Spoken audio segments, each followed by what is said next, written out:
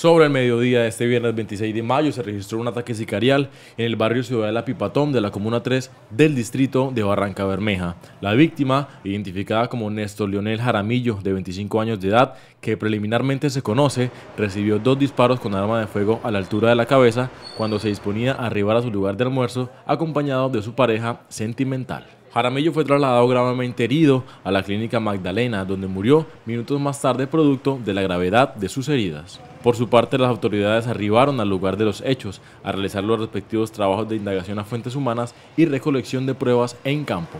En lo que va corrido del 2023 son más de 60 personas las que han fallecido producto de actos violentos que afectan la paz y tranquilidad de los habitantes del puerto petrolero.